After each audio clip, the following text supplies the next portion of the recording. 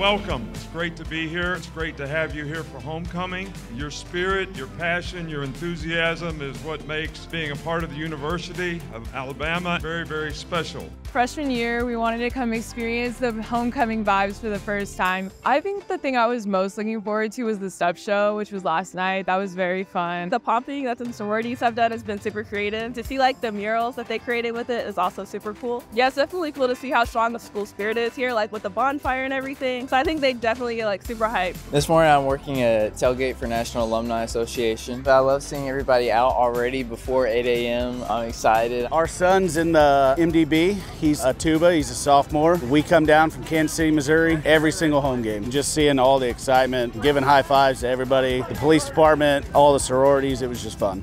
It's my honor to welcome you back to the capstone. What a privilege that we are alumni and supporters of the greatest university in the world. Happy homecoming and roll tide.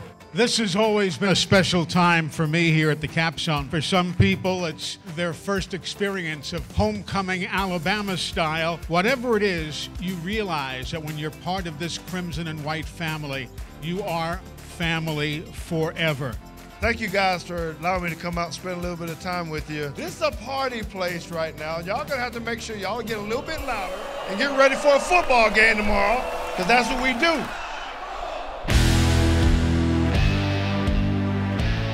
Glad you're with us here on a beautiful day here in Tuscaloosa. The Crimson Tide plays host to the Hogs today.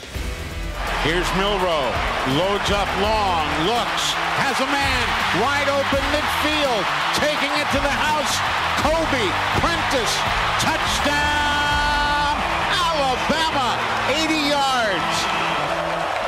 Wideouts either way. Jefferson looks left, looks right, looks down because he is covered up by crimson and white. That was Jah-Marien Latham for the second sack of the day. 4.47 to go in the half. Milroe looks, has a man open. Touchdown, Alabama. Amari Niblack, the tight end.